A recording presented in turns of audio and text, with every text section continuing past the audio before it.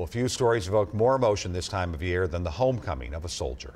Today in Monticello, more than 120 families received a gift that needs no wrapping, only the open arms to welcome home their loved ones from overseas deployment. And as WCCO's Bill Hudson shows us, home for the holidays has never felt better.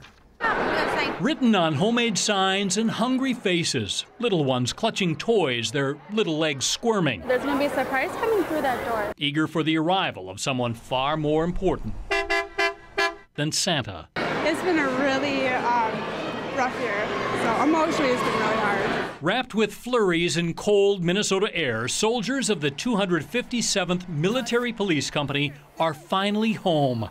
It's the present six-year-old Aiden Hansa never expected. I was really excited and really happy. His dad's among the Minnesota National Guard soldiers back from MP duty in Guantanamo Bay, when he left, daughter Ava wasn't talking.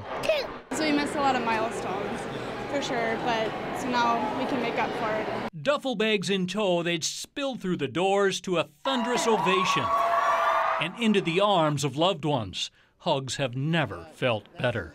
Best gift ever. Definitely. Brand new. It's the first time I've seen him. Sergeant First Class Gary Lashovsky finally gets to touch and hold his new grandson. Now you get to see him for the first time, and it's good. He looks at me and he smiles. Merry Christmas, soldiers. The best presents in life don't need ribbons and bows. I love these stories. It is.